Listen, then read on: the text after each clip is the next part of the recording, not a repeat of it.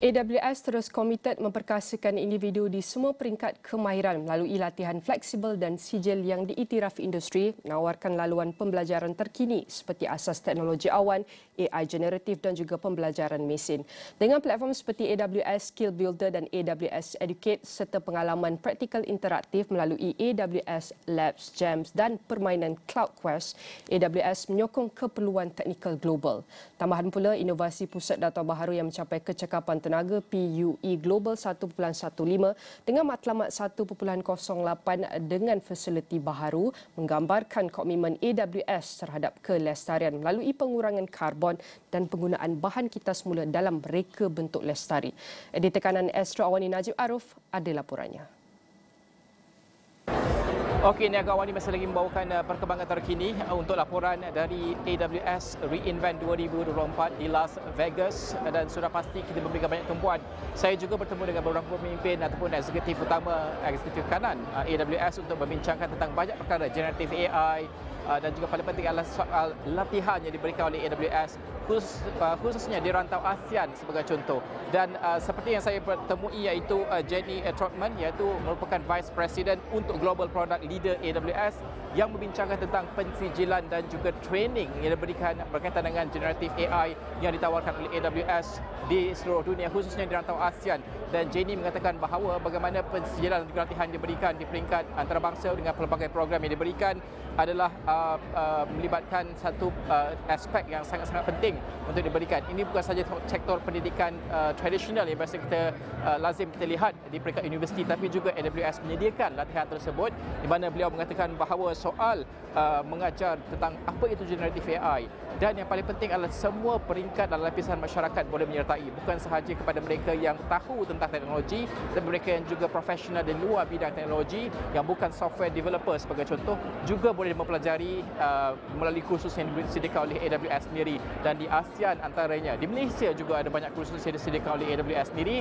Dan kita dengarkan sedikit apa yang dikatakan oleh Jenni tentang latihan yang disediakan oleh AWS.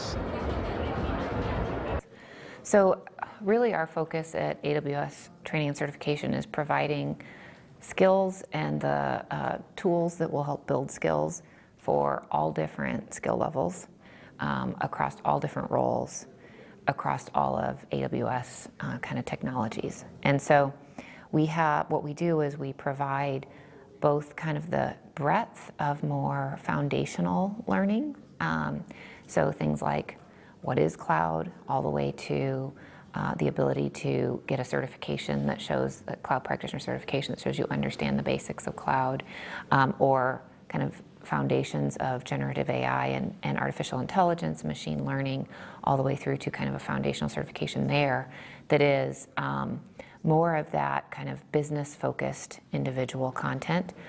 And what we do is we, we have a, a series, that we provide this content in, in multiple ways. So we provide it as um, a classroom training uh, when needed, but the way we keep the most up-to-date information in front of people and available to people at all times is on our self-paced learning um, platform. So you can go online and you can access this content anytime on AWS Skill Builder, um, or if for younger people or for kind of newer to, to cloud people on AWS Educate. And the idea there is that, that we work closely with the service teams and so we're able to keep the content up to date with what's happening with the technology. In addition to that kind of foundational, we also provide kind of deep dive training on where you can get hands-on with the technology um, if you're more in more of a technical role. So if you're you know, a developer, a software developer, a solution architect, um, there's resources on there that are will allow you to kind of in a risk-free way experiment with the technology, guide you through it and initially. So we have things like what we call um, AWS Labs on Skill Builder, where it'll actually guide you through on the console how to do something, all the way through to challenges where it gives you a challenge and you have to solve it. So once you've kind of gotten past that, tell, take me step by step. Now I'm ready to actually try and do something, but I'm not ready to build yet in my own environment, right? I still want to have the risk managed. It, you can take a, an AWS Jam where it'll give you a challenge, or you can play a game if you like learning through games, through um, CloudQuest, and you get into a virtual world and you can get hands-on in the console and learn, but you're also kind of playing around and, and having fun and, and experimenting. And so Dan sudah pasti soalan penting saya adalah melihat kepada apakah sebenarnya persijilan yang ditawarkan oleh AWS setakat ini diterima oleh uh, uh, peserta industri sendiri kerana kita sedar bahawa kebanyakan peserta industri masih lagi melihat kepada sektor tradisional sebagai contoh uh, iaitu institusi pendidikan IPTA, IPTS dan sebagainya. Bagaimanakah penyedia seperti AWS ini dalam melatih penggunaan teknologi seperti generative AI dan juga uh, machine learning sebagai contoh sijil ini diterima sebagai perlakuan kepada kebakaran yang dimiliki oleh seseorang individu tersebut. Ini sangat penting sekali dan kita dengarkan apa yang Jenni berkatakan tentang penerimaan persijilan AWS.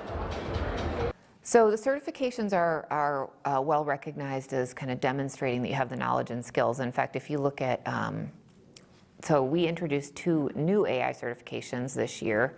We so they're not showing up in any studies yet about the value because they're brand new. We fully expect we'll find out next year how the market is valuing them. But if you look at our other certifications, there's a study that's run in the US and there's different ones around the globe, so I can really speak to the US one. I know that Japan has a similar one. Um, that talks about the value of, the, of IT certifications.